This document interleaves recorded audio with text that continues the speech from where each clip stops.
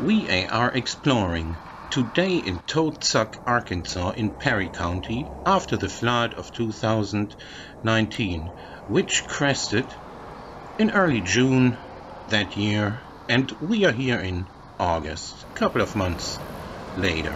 The one-stop gas station and Arkansas State Highway 60 were 3 to 4 feet underwater. And so was this house.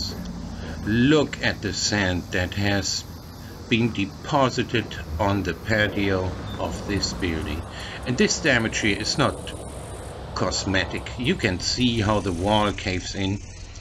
The waters have washed out the sand from underneath the concrete foundations and made these houses fall into deep holes just like this mobile home.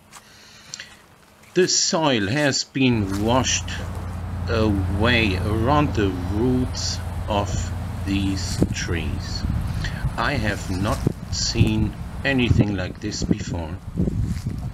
These buildings are destroyed. These families have lost their homes and probably most of their belongings. How sad. Deposited sand formed these sand dunes here, which is bizarre and here you can see the foundation. The concrete foundation has cracked and the mobile home has fallen into this hole that the waters created. This home is destroyed.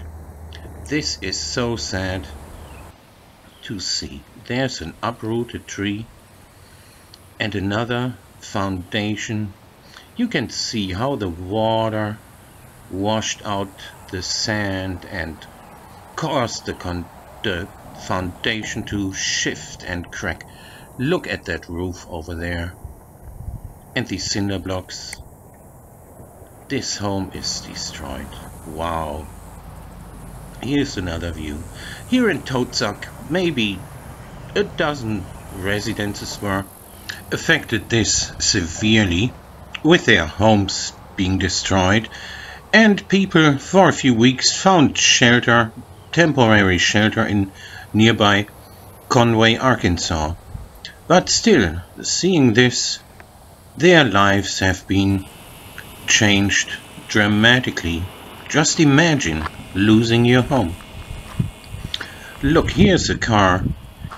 There's a fence and lots of debris that has accumulated around it and the rear window has been pushed in by debris in the water or by the forces of the water itself.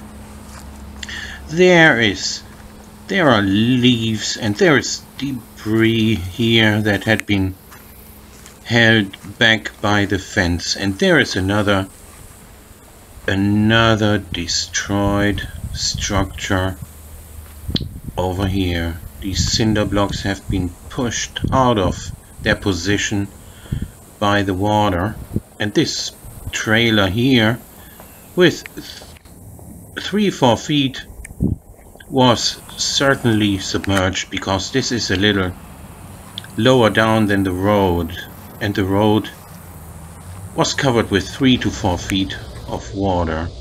Toad Suck Park is still closed two months after the flood. I hope you found this video interesting. I found it sad to take and see people lose their homes.